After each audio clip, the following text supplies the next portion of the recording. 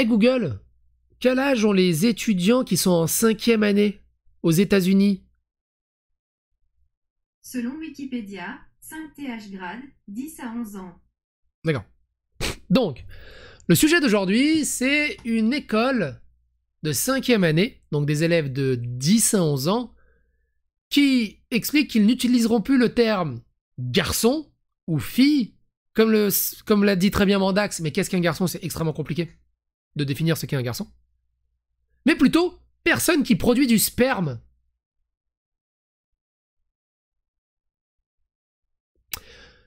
Toi là, le petit garçon, de toi là, le petit qui produit du sperme là, au tableau là, tu vas me faire le 2 plus 2, euh, tu vas me faire le, petit euh, maths. Toi, euh, la personne qui a un utérus là, 10 ans. On les appelle des producteurs de sperme. Alors ouais, à ce moment-là, tu te dis, bon, si on fait de l'éducation, de l'amour dans les fesses à des 10 ans et de la fellation à des gamins de 6 ans, autant les appeler producteurs de sperme et pas garçons. Parce que tu vois, euh, c'est ça là, le progressisme, l'inclusivité, le, le futur, la zététique.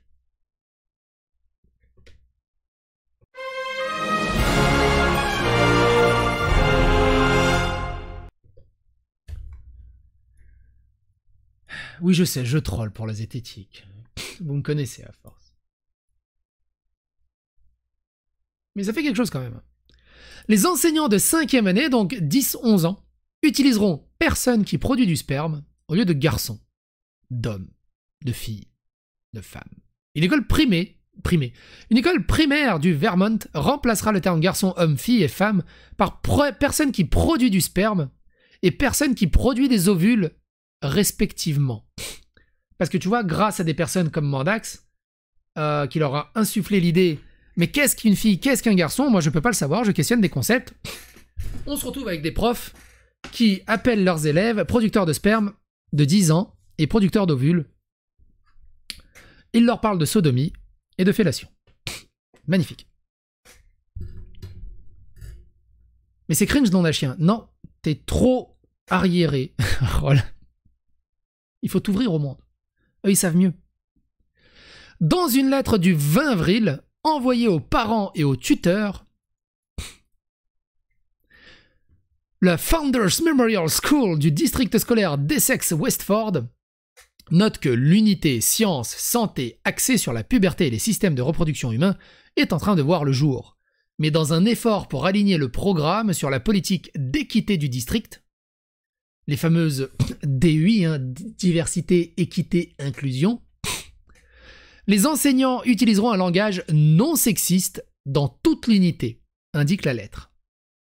Et moi, je fulmine dans ma zététique serbe.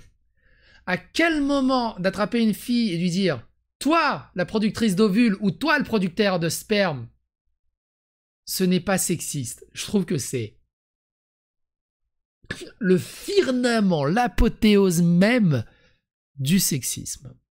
C'est-à-dire que tu le revois, tu le renvoies juste à sa fonction ultra euh, standardement. euh, bref, c'est une déshumanisation stratosphérique.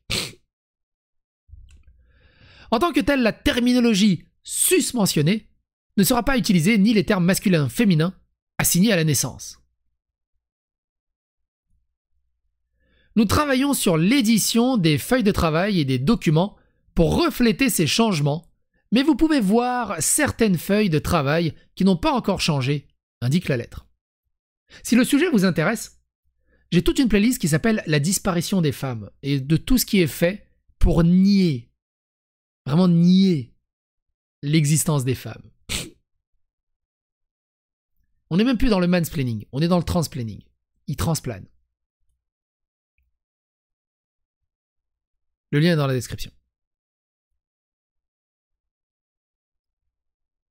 The College Fix a contacté la directrice de l'équité et de l'inclusion d'Essex Westford, Erin McGuire, pour obtenir des commentaires, mais elle n'a pas répondu. Une demande de commentaires de la directrice des Founders Memorials, Sarah Jablonski, a été renvoyée avec un message automatisé indiquant qu'il était absente du bureau. Une enquête de la semaine de l'éducation d'octobre dernier a révélé qu'une majorité d'Américains ne veulent pas que l'éducation sexuelle et les sujets liés au sexe soient enseignés. aux jeunes étudiants. Tiens, on peut lire ça aussi. Comme ça, ça sera cool. Et comme ça, ça renvoie aussi à l'autre vidéo, souvenez-vous, on en avait parlé. Euh, fesses. Non, c'est pas fesses. Euh, 10 ans? 10. Oui. C'était le droit de réponse de Fantine et Hippocrate, où il expliquait euh, que, euh, que, qu'il fallait parler d'amour dans les fesses à des enfants de 10 ans, c'est l'éducation sexuelle qui est très importante, et également que lécher des zizi, euh, on pouvait lécher les zizi des garçons, on pouvait en parler de la fellation, on pouvait en parler dès l'âge de 6 ans. Les enfants sont prêts à comprendre ça. C'est-à-dire que on part du fait que sous prétexte qu'ils ont vu une fois une image un peu bizarre ou qu'ils ont consommé même à l'âge de 10 ans du porno sur internet, il faut leur en parler. C'est comme s'ils ont vu un film avec des armes à feu, un film d'action, que d'un coup on va leur apprendre la balistique et comment manier un flingue.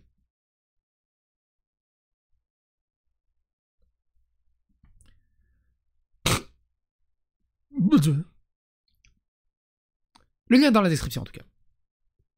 Et d'ailleurs, euh, si j'ai pas de bêtises, euh, j'ai pas mis le droit de réponse de Fantine.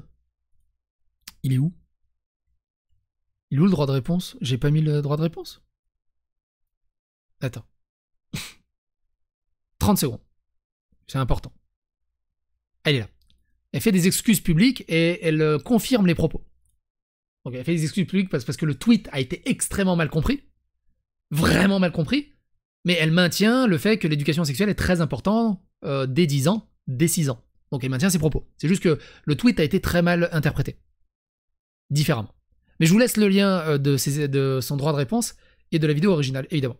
D'ailleurs, il faut que je le mette dans la description. Euh, euh, ses excuses publiques. Et je vais mettre le lien dans la description, comme ça il y aura un suivi au- dans cette affaire, ce qui est quand même très important. Et de l'autre côté, euh, début de l'histoire, je l'avais déjà mis. On était où dans l'article? Ah bah on avait fini l'article. Ah oui, non, on voulait lire l'autre article. Celui-là. Et tout ça, encore une fois, tout ça, tout ceci est relié avec la fameuse playlist euh, Stop Walk Act, où la Floride veut protéger les enfants et redonner le pouvoir aux parents en interdisant euh, l'endoctrinement et euh, les discussions de sexualité à des gamins de 6 ans, de transgenre à des gamins de 7 ans. Je vous laisse le lien de la description là-dedans. D'ailleurs, je pourrais mettre euh, ces deux vidéos dans le Stop Walk Act, tellement euh, ça rejoint la même situation. C'est le même euh, fil éditorial. C'est le même narratif qu'ils essayent d'instaurer.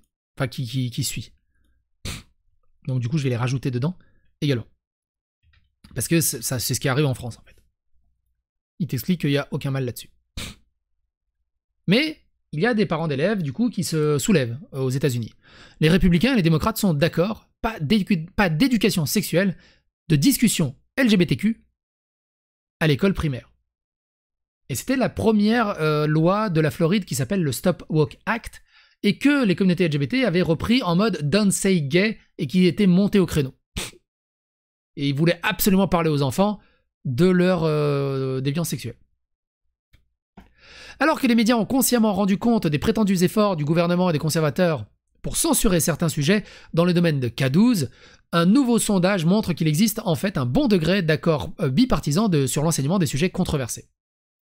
Education Week rapporte qu'une enquête de l'UCSC School of Education a révélé que la majorité des républicains et des démocrates souhaitent que des sujets controversés soient enseignés et discutés dans les écoles, mais différents, sur des sujets spécifiques et des niveaux d'âge appropriés.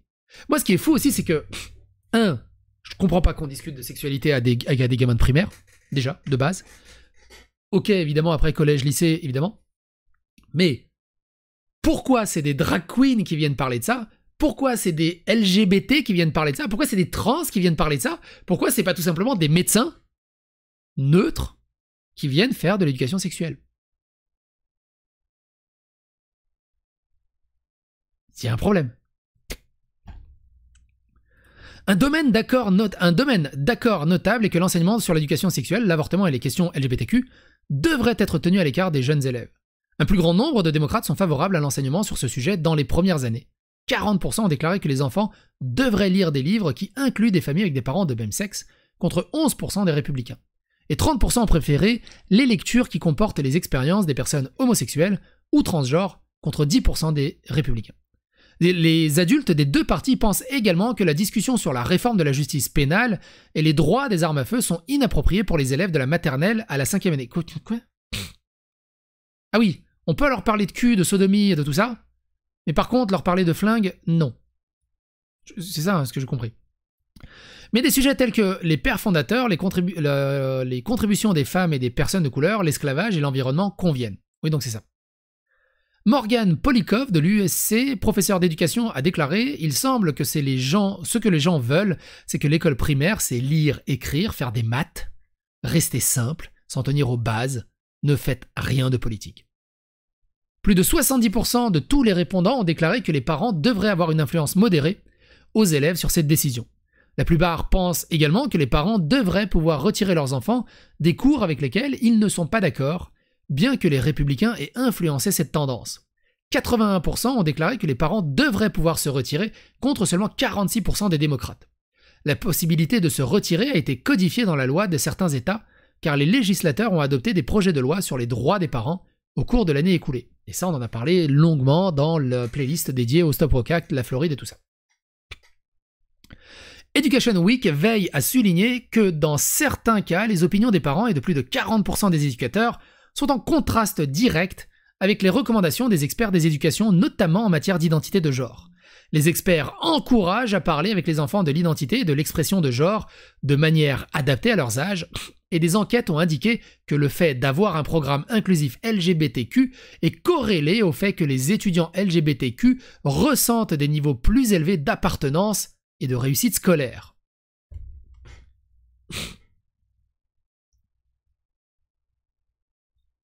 Qu'est-ce que vous en pensez de tout ça? N'hésitez pas à donner votre avis, votre opinion dans les commentaires, n'hésitez pas à faire l'algorithme de YouTube, et à bientôt pour d'autres aventures.